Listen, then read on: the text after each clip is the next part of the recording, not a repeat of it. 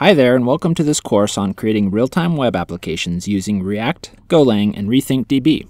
In this course, we'll focus more on learning through practical use of these technologies. So what exactly do I mean by that? Well, you and I have a goal to build a particular web application, and we're going to learn just what's necessary to create that web application. We aren't going to cover every nook and cranny of the technologies used.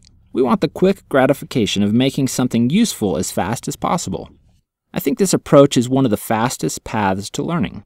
So let's get started.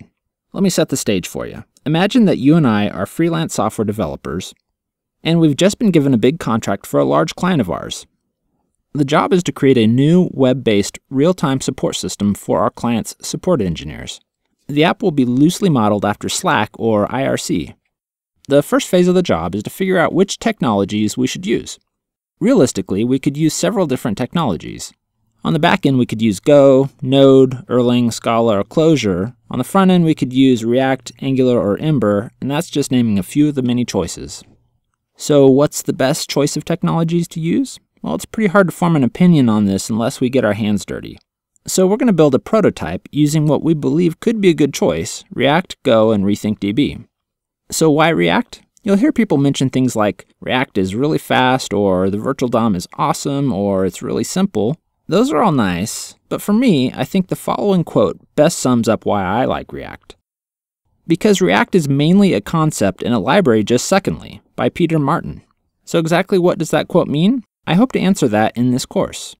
Why Golang? Now, it's a modern language that's simple and well suited for real-time applications because of its first-class language support for concurrency. Why RethinkDB?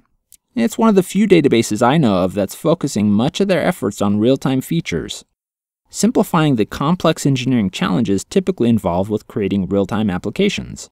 I think it's a good tool for the next wave of real-time applications.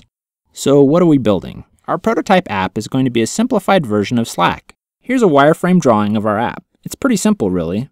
We're going to have three main sections, channels, users, and messages. If you've used Slack, this interface should seem very familiar to you. Here's the basics of how our app will work. We've got communication channels in the upper left portion of the screen. Think of channels as a discussion room where the chat is focused on a specific topic. Examples of channels for our client might be hardware troubleshooting or initial setup. We'll set up the app so channels can be added by keying a new channel name into a simple form with a single input field. The app will have a list of currently connected users in the bottom left section of the screen. There's a simple form with a single input where a user can key their name. The right section of the screen will show the messages for a given channel.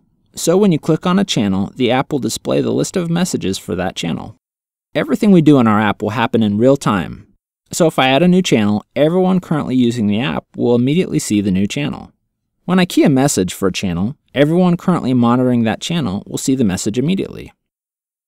We're going to start building our app's front end first. We'll just mock the data to start with, and then later we'll swap out the mock data with real data coming from our Golang and RethinkDB backend. In the next video, we'll learn how to use React and we'll start writing our first React component.